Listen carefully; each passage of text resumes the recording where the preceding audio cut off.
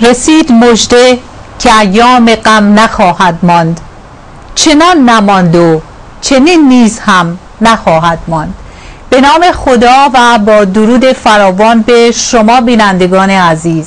من شهل عاشقیان هستم و مجموعه دیگری از برنامه های دنیای نور این هفته رو به همه شما عزیزانم تقدیم می کنم امیدوارم که در هر جای دنیا که هستید در سلامتی صلح و آرامش و پر از برکت به سر ببرید.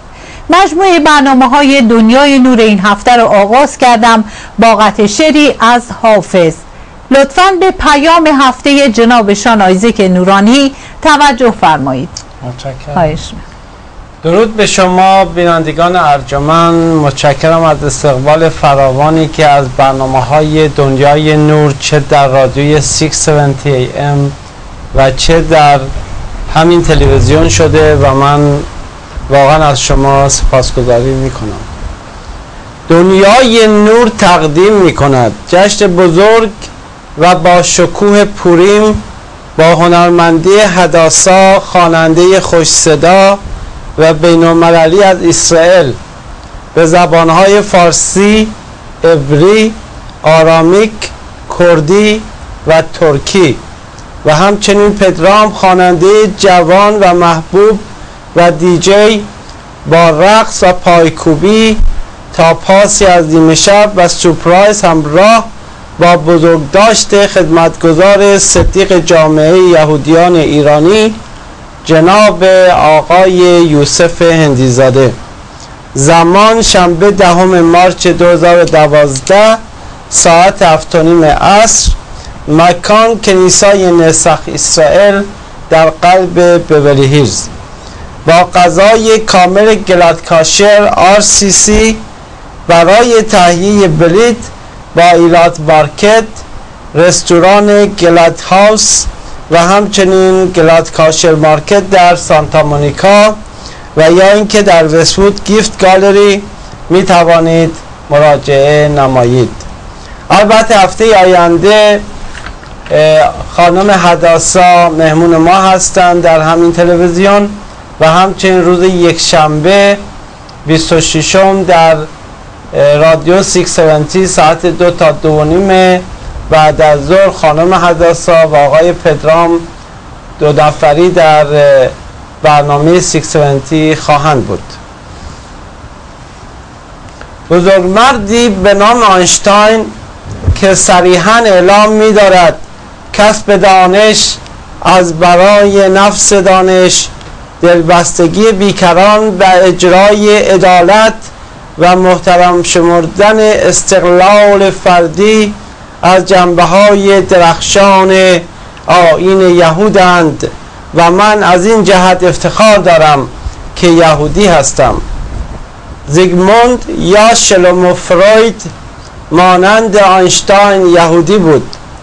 پدر او یعقوب یعقوب فروید مردی بسیار متدین بود و پیوسته از پسر خود می‌خواست درباره دین یهود و پیامبر بزرگ حضرت موسی مطالعه کند در صورتی که پدر آینشتاین به سنن و رسوم دین بیعتنا بود. با این وجود آینشتاین از پدر بزرگش یهودیت را آموخت. فروید در زندگی نامه خود می نویسد پدر و مادرم یهودی بودند و خودم نیز یهودی باقی ماندم. نشانی موفقیت او در احترام به اصول دینی است که اجدادش بدان پایبند بودند. ماکس گراف بنویسد فروید از اینکه متعلق به ملت یهود یعنی ملتی که تورات مقدس را به دنیا ارمغان داشته احساس غرور و افتخار می‌کرد. فروید در کتاب خود حضرت موسی و یکتاپرستیش درباره نقش تورات در حفظ یهودیت می‌گوید می‌دانیم که موسی به وسیله خدایی غیر مادی و نامرئی ارمغان پرارزشی را به صورت گنجینه نهان به یهودیان اهدا نمود و بزرگترین افتخار یهودیان و جهانیان می باشد. پدر فروید یعقوب نسخه از تورات مقدس را به او هدیه می کند و به زبان عبری می نویسد. پسر عزیزم بیش از هفت سال از سن تو نمی گذشت که خداوند تو را به سوی دانش به حرکت درآورد. کتاب مقدس تورات را بخوان تا درهای معرفت و دانایی به رویت گشوده شود. سفر دواریم این کتاب کتاب ها این کتاب مقدس چاهی است که خردمندان آن را حفظ نمودند و قانونگذاران از آن آب معرفت به بالا کشیدند.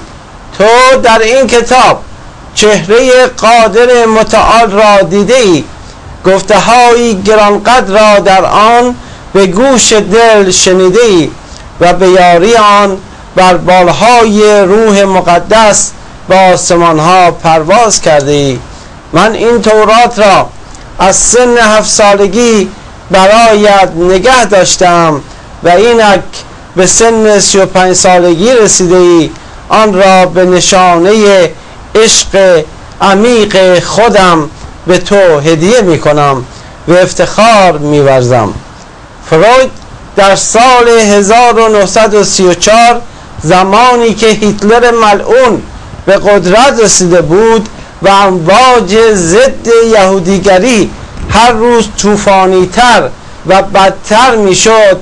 او در سی و پنج سالگی به, به سوی تورات مقدس بازگشت تا نخستین کتابش را در زمینه یهودیت بنویسد.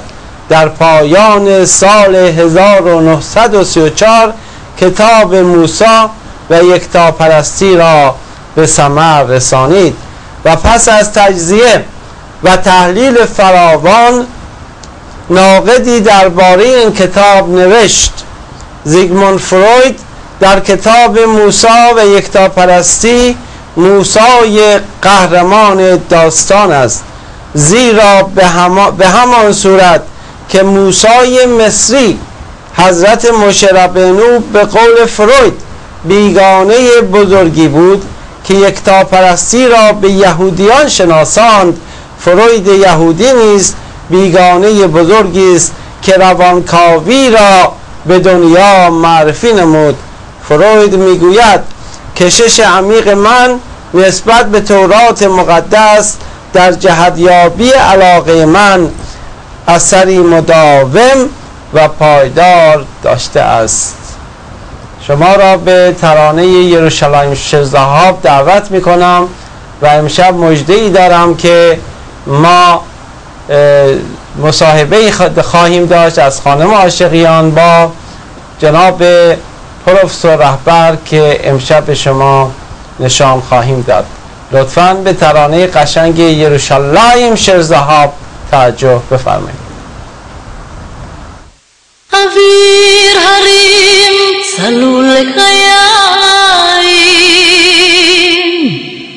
וריח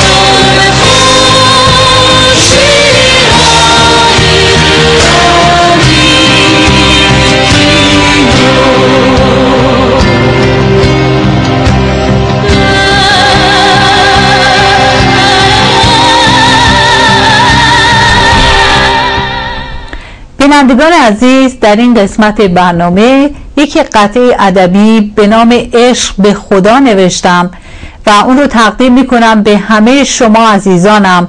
امیدوارم که از این نوشته من لذت ببرید.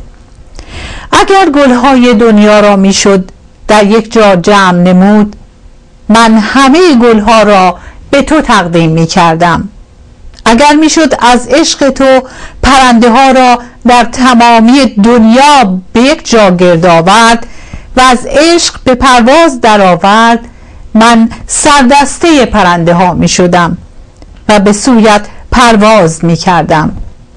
اگر تمامی عشق های دنیا را جمع می کردند که چون دریایی باشد من هایم را به پیشوازت میفرستادم که زودتر از همه جویبارها